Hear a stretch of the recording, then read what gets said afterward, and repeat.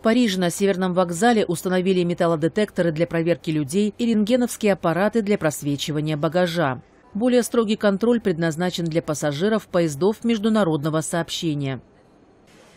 Усилить меры безопасности предложила еще в конце августа министр экологии, устойчивого развития и энергетики Сигален Руаяль. Она также отвечает за транспорт в стране. Сегодня сделан важный шаг, потому что мы открываем новую культуру обеспечения безопасности, без паники, но профессионально и решительно.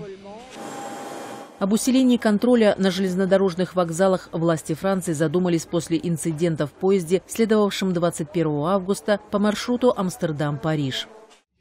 В последнем вагоне ехал 26-летний марокканец, который открыл стрельбу из автомата Калашникова. Спустя несколько минут его обезвредили двое американских военных в штатском. В багаже злоумышленника находилось огнестрельное и холодное оружие.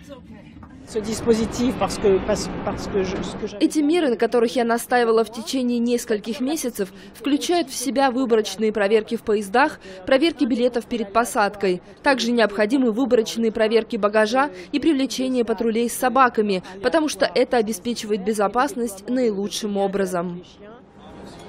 Пока что у пассажиров проверяют только документы. Новые меры безопасности будут осуществляться с 20 декабря. При этом европейские международные операторы скоростных поездов беспокоятся, что из-за досмотра багажа на вокзалах могут возникать очереди.